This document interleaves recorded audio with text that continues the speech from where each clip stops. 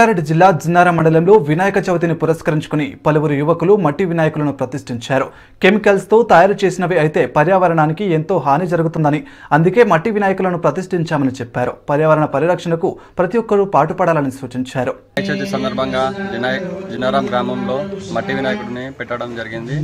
దీనిలో భాగంగా వాటర్ని పొల్యూషన్ కాకుండా మనం సంరక్షించుకునే బాధ్యత మన పైన ఎంతో ఉందని మనం భావిస్తున్నాము. వాతావరణ పరిరక్షణని సంరక్షించాలని కోరుకుంటున్నాము ఈరోజు మేము జిన్నారం గ్రామంలో ప్రత్యేకించి ప్రతి సంవత్సరం కలర్స్తో కూడిన వినాయకుడు తీసుకొచ్చే వాళ్ళం. కానీ ఈ పొల్యూషన్ ప్రాబ్లమ్స్ ఎక్కువైపోతున్నాయి చెరువుల్లో చెరువుల్లో నీరు ఖరాబ్ అవుతున్నాయి. ఆ నీళ్ళు ఖరాబ్ అయితే పంటలలోకి వెళ్తే పంటలు కూడా ఖరాబ్ అయ్యి ఆ, క్యాన్సర్ల బారిన పడే అవకాశాలు ఉన్నాయి కాబట్టి అందుకనే మేము ముందుగా స్వచ్ఛందంగా మేమే మట్టి వినాయకుడు ఒక ఆరు ఫీట్ల మట్టి వినాయకుడు తీసుకొచ్చి ఇది పూజించడం జరుగుతుంది.